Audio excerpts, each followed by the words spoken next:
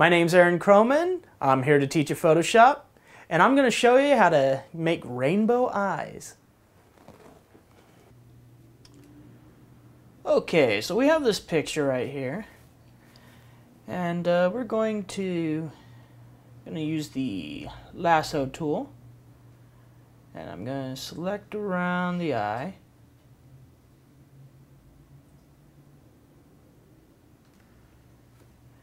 And I'm going to go to Image, Adjustments, Desaturate. And another way of doing that is to uh, go down to where the little water drop is and go to, well, actually no, it's by the hand, and go to uh, the sponge tool, and you can do it this way as well. And you can well, set it up to 100%, and you can desaturate it this way as well. Everybody makes mistakes. So remember, Control-Alt-Z or Command-Option-Z if you're using a Mac to undo.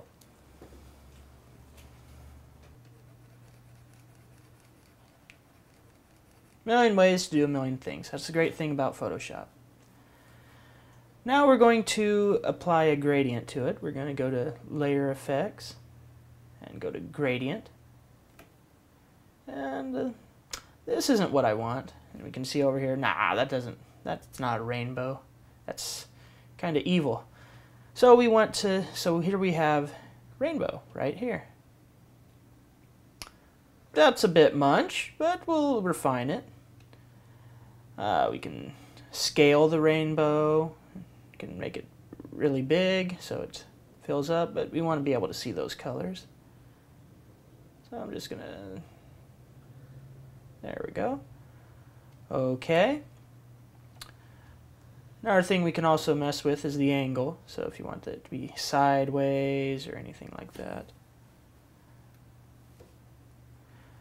So next what we're going to do is we're going to go to the uh, where it says uh, normal, the layer options, and I'm going to hit multiply.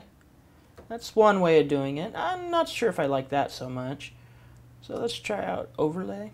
Yeah, that's much better but still a little sharp, so I'm going to uh, use a soft round eraser and going to kind of soften the edges a little.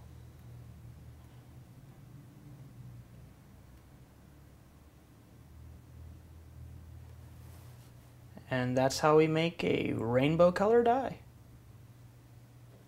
My name's Aaron Kromann, and good luck with Photoshop.